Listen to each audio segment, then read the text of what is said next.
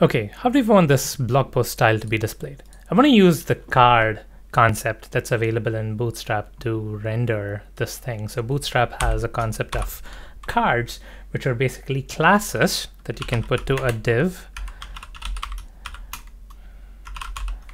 And uh, this is going to render the contents of this div as a card.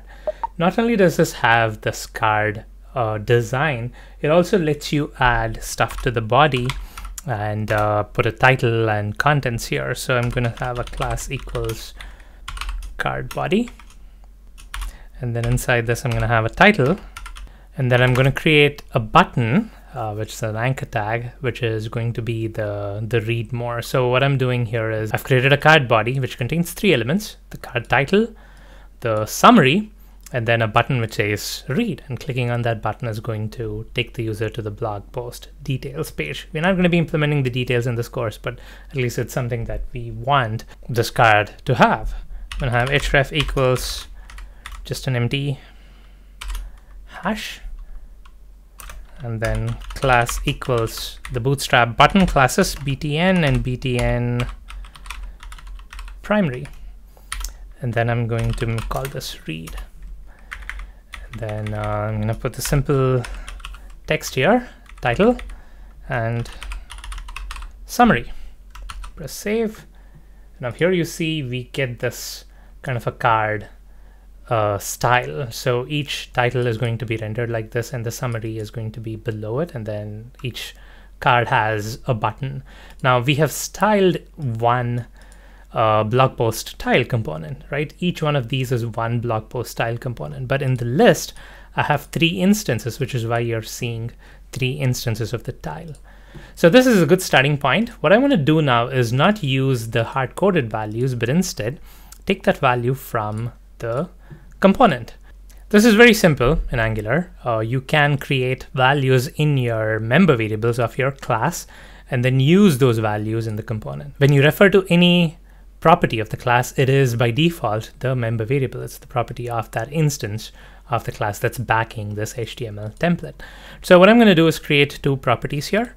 Uh, we are going to start simple and then we're going to add to this. So let's say I create a property called title, which is a string, and then uh, summary,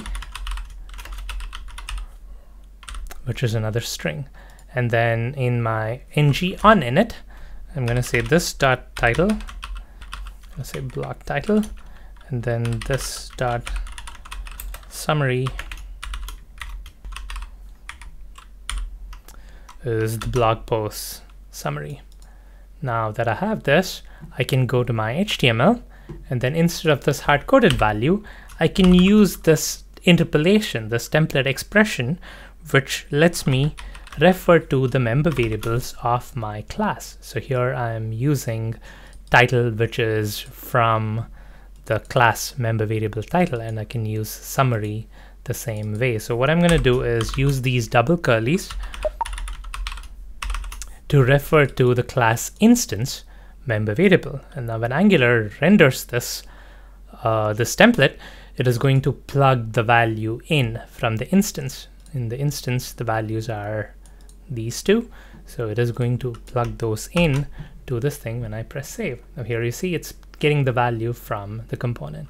It is still the same thing, it hasn't changed, but this actually allows us to pass in different values and have these, uh, the title and the summary be different values at runtime, and that's the goal. Now that we have this, we need to ideally be able to pass in these values to the component so that in the blog list component, rather than just have the component instance do just one thing, show just one value, it should basically show whatever is passed to it. I should be able to pass in different values for different blog posts and have those be reflected. Let's take a look at how to do that.